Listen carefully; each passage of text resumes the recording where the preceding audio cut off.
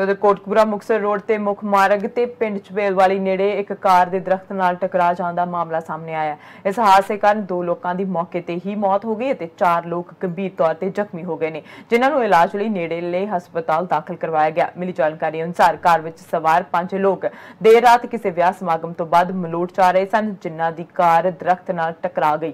ਇਸ ਹਾਦਸੇ ਵਿੱਚ ਦੋ ਵਿਅਕਤੀਆਂ ਦੀ ਮੌਕੇ ਤੇ ਹੀ ਮੌਤ ਹੋ ਗਈ ਅਤੇ ਚਾਰ ਗੰਭੀਰ ਰੂਪ ਨਾਲ ਜ਼ਖਮੀ ਹੋ ਗਏ, ਜਿਨ੍ਹਾਂ ਵਿੱਚ ਇੱਕ ਬੱਚੀ ਵੀ ਸ਼ਾਮਿਲ ਹੈ। ਘਟਨਾ ਦੀ ਸੂਚਨਾ ਮਿਲਣ ਤੇ ਪਹੁੰਚੇ ਏਐਸਆਈ ਅਮਰਜੀਤ ਸਿੰਘ ਵੱਲੋਂ ਇਸ ਮਾਮਲੇ ਦੀ ਜਾਂਚ ਕੀਤੀ ਜਾ ਰਹੀ ਹੈ। ਸਾਨੂੰ ਇਨਫੋਰਮੇਸ਼ਨ ਮਿਲੀ ਹੈ ਥਾਣੇ ਤੋਂ ਵੀ ਐਕਸੀਡੈਂਟ, ਝਵੇਲ ਵਾਲੀ ਕੋਲੇ ਐਕਸੀਡੈਂਟ, ਕਾਰ ਇੱਕ ਕਾਰ ਦਾ ਐਕਸੀਡੈਂਟ ਹੋ ਗਿਆ।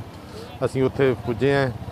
ਜਦੋਂ ਅਸੀਂ ਦੇਖਿਆ ਐਕਸੀਡੈਂਟ, ਦਰਖਤ ਨਾਲ ਕਾਰ ਵੱਜ ਕੇ ਦੋ ਬੰਦਿਆਂ ਦੀ ਮੌਕੇ ਤੇ ਮੌਤ ਹੋ ਗਈ। ਇੱਕ ਬੰਦਾ, ਜਿਹੜੇ ਬੰਦੇ ਇੰਜਰਡ ਹੈ, ਉਹਨਾਂ ਨੂੰ ਹਸਪਤਾਲ ਦਾਖਲ ਕਰਾਇਆ।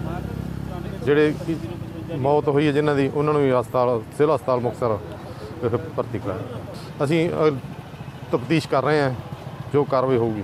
ਇਹ ਅੱਜ ਸਵੇਰੇ 10 ਵਜੇ ਹੀ ਆਏ ਆ ਸਾਡੇ ਕੋਲ ਚਾਰ ਪੇਸ਼ੈਂਟ ਆਏ ਆ। ਇੱਕ ਸਚਿਨ ਹੈਗਾ ਇੱਕ ਜੋਤੀ ਹੈਗੇ ਉਹ ਤਾਂ ਐਡਮਿਟਡ ਹੈਗੇ। ਤੇ ਬਾਕੀ ਦੋ ਪੇਸ਼ੈਂਟ ਨੀਰੂ ਤੇ ਇੱਕ ਉਹਨਾਂ ਦੀ ਬੱਚੀ ਫੈਰੀ ਉਹਨਾਂ ਨੂੰ ਸੀਟੀ ਸਕੈਨ ਲਈ ਭੇਜਿਆ ਹੈਗਾ। ਮੈਡਮ ਕਿਹੋ ਜੀ ਕੰਡੀਸ਼ਨ ਸੀ ਜਦੋਂ ਤੁਹਾਡੇ ਕੋਲ ਪਹੁੰਚੇ? ਸਚਿਨ ਤੇ ਜੋਤੀ ਤਾਂ ਠੀਕ ਹੈਗੇ। ਨੀਰੂ ਤੇ ਜਿਹੜੀ ਬੱਚੀ ਹੈਗੀ, ਉਹਨਾਂ ਦਾ ਸੀਟੀ ਸਕੈਨ ਦੀ ਰਿਪੋਰਟ ਆ ਜਾਏਗੀ, ਫਿਰ ਉਸ ਤੋਂ ਬਾਅਦ ਪਤਾ ਚੱਲੇਗਾ ਵੀ ਕਿ